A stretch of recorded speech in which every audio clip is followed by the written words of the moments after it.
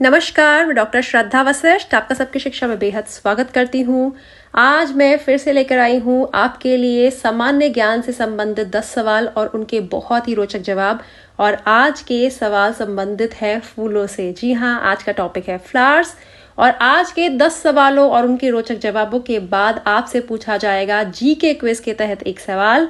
और सवाल का सही जवाब देने वाले तीन विजेताओं को मिलेंगे प्राइजेस जो उनके घर पहुँचेंगे। हमने जो पिछली बार आपसे जी क्विज में सवाल पूछा था, उसका जवाब क्या है? और साथ ही किन तीन विजेताओं के नाम विनर्स के रूप में घोषित करे हैं, वह हमने कम्युनिटी सेक्शन में आपको एक पोस्टर के माध्यम से बता दिया है। तो सभी विनर्स को बधाई। जब प्राइज आपके घर पहुँच जाए तो अपनी फ़ोटो प्राइस के साथ हमें फिर से ईमेल करें।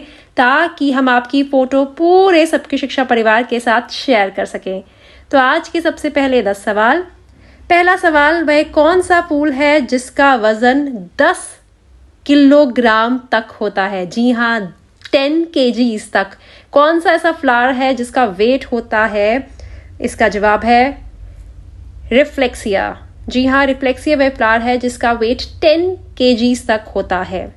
आज का दूसरा सवाल उस पिगमेंट का नाम बताइए जो पौधों में प्रकाश के अवशोषण का काम करता है। यानी कि जिसे हम पौधों में प्रकाश के लिए जो अवशोषण काम करता है, उस पिगमेंट का नाम क्या है? इसका नाम है क्लोरोफिल।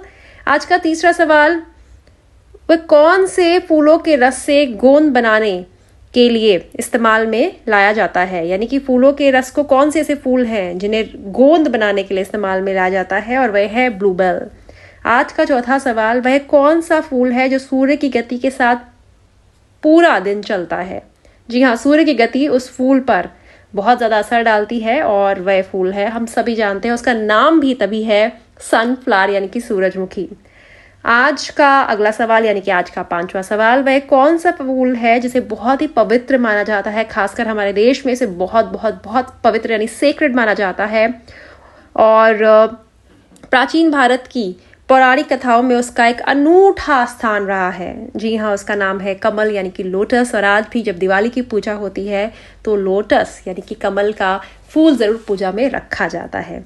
आज का छठा सवाल, कौन सा काले रंग का फूल होता है जो चमकादड़, यानी कि बैट की तरह दिखता है। जी हाँ वह जो फूल है जो काले रंग का होता है और चमकादड़ की तरह दिखता है, उसका नाम भी चमकादड़ के ऊपर ही रखा गया है। चमकादड़ को जोड़ कर ही रखा गया उसका नाम है black bat flower black bat flower जी हाँ।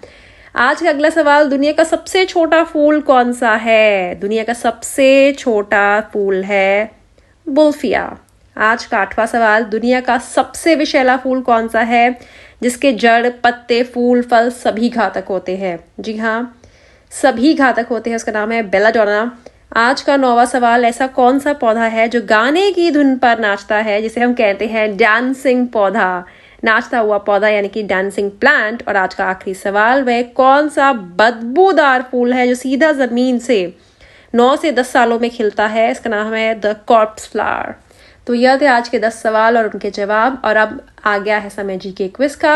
और जीके क्विज में मैं आज आपसे पूछने जाने, पूछने वाली हूँ बहुत बहुत बहुत आसान सवाल। सवाल यह है कि भारत में कितने केंद्र शासित प्रदेश हैं? जी हाँ कितनी यूनियन टेरिटरीज हैं हमारे देश में? आपको यह सवाल का जवाब मुझे भेजना है। लिखकर हमारे ईमेल आईडी के माध्यम से ईमेल, हमारे ईमेल आईडी पर ईमेल के माध्यम से हमारा ईमेल है,